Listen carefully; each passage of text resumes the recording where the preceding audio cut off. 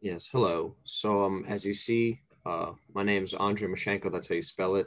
Uh, I'm an SI leader for uh, Professor Stratton's class of MES 152. That's Intro to Contemporary Media. Um, so I finished MEPCA in fall 2012, and I'm continuing my education in CUNY, uh, City College, sorry. And uh, yeah, first time I had the class was in spring. It's supposed to say uh, 2020. Uh, sorry about that.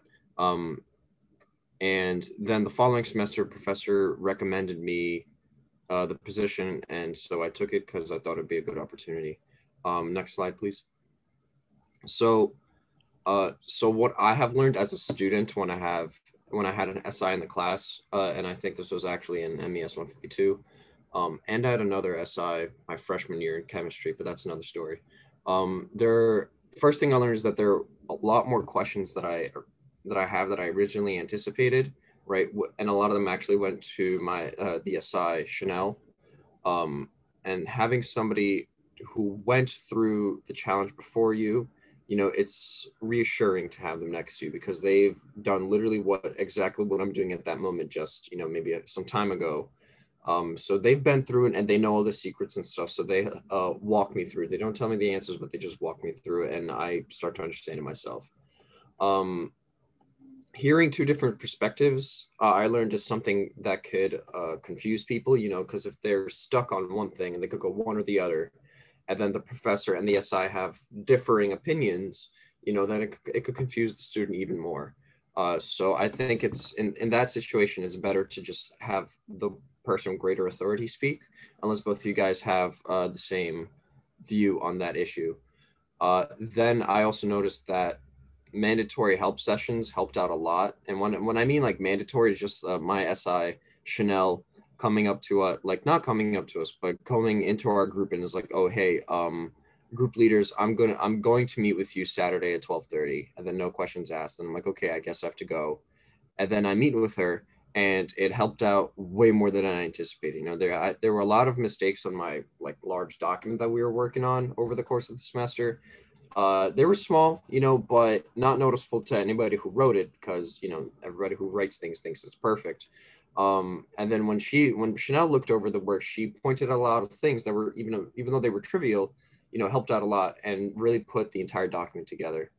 Um, I also noticed that SIs are a lot more tolerant to complaints, you know, because the SIs uh, like about the class than the professors. I mean, like obviously, if the student complains to the professor about the class, the professor is going to get a little, let's say, offended.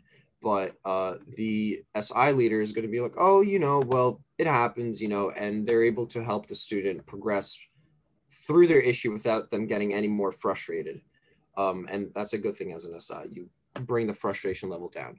And then uh, the final thing that I noticed with an SI in the class is that step-by-step guided instruction. I, as um, I think it was Nandrani or Ruby mentioned earlier, um, that step-by-step guided instruction is actually the most effective way to teach somebody um, and learn. And in my case, in my experience, that happens to be the case as well. You know, like whenever Chanel would go through me, uh, go through my document with me on how to format something, you know, it'd be way easier with her just like sitting there on the opposite side of the screen, just describing things to me. Um, and it's much more understandable that way instead of just having somebody lecture and then tell me to go do it and then i'm scared to ask questions you know? Um next slide please.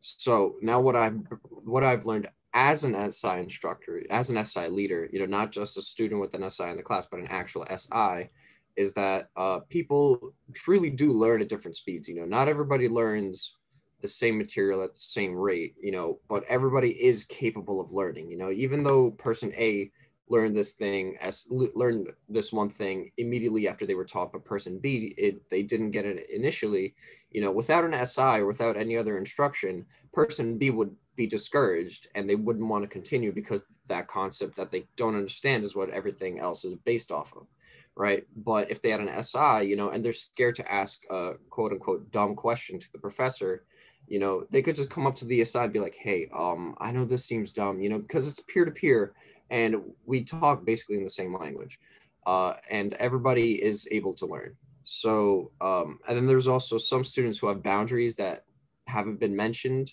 but need to be respected you know maybe they're a little embarrassed of them or it's a little personal and they don't want to let people let their business into other people's lives. And as an SI and as a professor, you know, you kind of have to pick up on that. You know, you have to read the room, especially when it's a one-on-one situation. Uh, you have to see if there's anything that bothers them that they don't necessarily want to talk about, and you have to work around it. You know, without telling them, because if you tell them, you know, they're going to be a little creeped out. You know, so just slowly but surely, just work in the idea that okay, we need to work around this, and then you do, and then they feel a little more comfortable. Um, as I mentioned earlier, students have an easier time asking me like smaller questions than they do to professor. You know, when it comes to bigger, uh, big picture things about the assignment, and then they go to Professor Stratton. You know, um, because they want pure, clear clarification from the person who wrote the assignment. But when it's like a small question, you know, that could end up being a mistake and lose and losing them a few points. You know, they ask me or another SI, and then bada bing, bada boom, they no longer lose the points. Um, it's also really easy to see in a group of people if there's a question that nobody wants to ask. Um, and when I see it, I just straight up say the answer, and then there's like a, a general sigh of relief. Even online, you could kind of sense it. Um, and as an SI, I learned how to organize my documents better, like especially my computer. Um, before it just be like a folder and then all the documents in the folder, but now there's a folder within a folder within a folder within a folder and you I could find anything in like five seconds now. It's great. Um, next slide, please. Yeah. Now, how do I help people? How do I help students as an SI leader? So I'm always present during class. I have to be present and I'm there to provide questions about the work and any guidance that the group needs. You know, um, that's kind of my job. I don't teach, I don't reteach. Um, that's not my job. That's a professor's job, but I'm there to kind of just like nudge the duckies in a row, you know? Um, then I hold out of class SI sessions where we go over uh, material that confuses a group of students, or it could be an individual session. You know, I usually have office hours, but I'm open to uh, appointments. You know, uh, these meetings usually don't take longer than 30 minutes. You know, especially if you if you know the answer, you know, and you explain it just the right way, uh, the student will get it the first or second time, and then they'll walk away with a smile. Um, then Okay, so there is a set of there's a set of groups in the class that I'm an SI leader in, and each group has uh, group leaders, right? So what I do is I occasionally take the group leaders and have a little chat with them and be like, hey, how's everything going? Um, here's some tips on how to be a better leader in general. Um, and then if there are actual any actual problems, you know, I'm I am not really a therapist, but I sit and just like walk through the problem with them to see what they as a leader could do for their teammates and how that how that can um, improve their work because that's the overarching goal right? And in terms of communicating with students um, i use i primarily use email and hangouts uh, but sometimes i get text messages.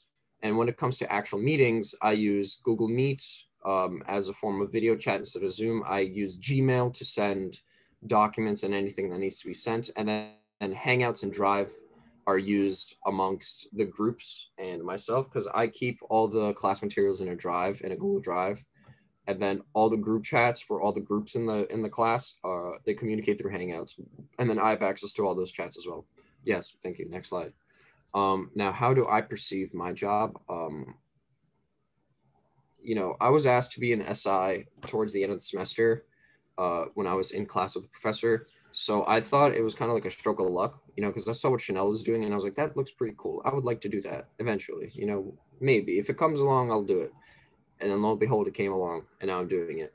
Um, I like that as an aside, I could help students understand things. You know, it's it's great. It's a good feeling teaching something to somebody and then you see that they understand it, but it's a whole nother level of satisfaction when you teach a person to understand something instead of actually teaching them the material you know because that's not just like connecting two things with twine you know that's like building a whole bridge to some place that you that the student never thought they had in their brain you know? Um, the students seem to enjoy my help you know i have students coming back to me like this one student i believe his name yeah his name is akeem. He was my most visited student out of both the classes that i had and it was relieving to hear him say, "Hey, can we schedule a session?" You know, because like, oh, this kid wants, this guy wants my help. You know, he wants to do better. It's a really relieving feeling. Um, and then I like to be like a reassuring presence in the class because I myself don't like to be I don't like the feeling of being lost in a classroom even though I know exactly where I am. You know, like if, if I was in a classroom, like an actual classroom, I like and I feel a little uncertain, seeing the SI just sitting there still alive after taking the class, you know, it's still reassuring to look at and to see.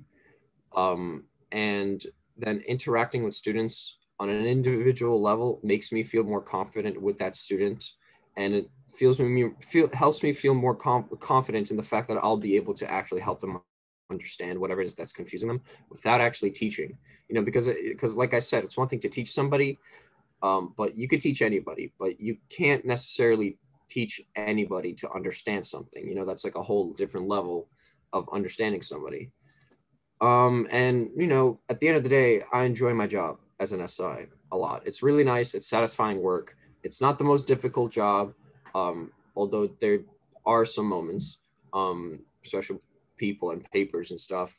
Um, but it's an enjoyable job. You know, anybody who is uh, looking to be an SI here, I'd recommend it. You know, it fits into your schedule. Anybody who is uh, already uh, committed to being an NSI, good for you because this is fun. Um, I guess that's all I have to say. So I think there are a couple of tips there, Andre. Yeah. Oh yeah. Next slide. Next slide. And yeah, I have some tips for incoming uh, SIs, just in case. You know, um, I'll go from down up. So be calm, right? That's important. You don't want the students to see you all frustrated and stuff because you're supposed to be a model student. Drink water. Um, not only is your voice going to be clear the whole time, you'll stumble less. You won't have to do a lot of clearing your voices and um, like scratching yourself. Um, stay organized with your documents. You know, you don't want to be all over the place, especially when a student is asking you for something and then you're like, okay, give me a second. You want to be one, two, three, and got it. Instead of being like, okay, okay, give me a second, and then awkwardly sitting there for like 40 seconds in front of your computer quietly while you go search for something. And honestly, the most important thing is um, set your boundaries, you know, because if you say, oh, I'm available from nine to six, five days a week, you know those are my office hours even though you have class you know sometimes you could have a student call you in the most inconvenient time when you have when you just when something just came up and it needs your immediate attention and then you have seven students calling you because of one confusing confusing assignment. Uh, you want to end with your professor you know because like even though the professor is basically your boss and your coworker and they are enjoyable people um, you as an SI are still an individual. You're not a slave. You're not a robot. You're not an automaton. You know you're a person. You need your sleep your food your uh, social medias your you know your your video games and your monies and all that. So you know keep boundaries with everybody you're working with. And remember you know what you're doing because you've taken the class before. Like just you know be confident have that little bit of, of a mojo as you sit there and as you talk because you know what you're doing because you've done this you know? It's not no, it's nothing new to you. So um just be confident have a smile and be a good student in front of other students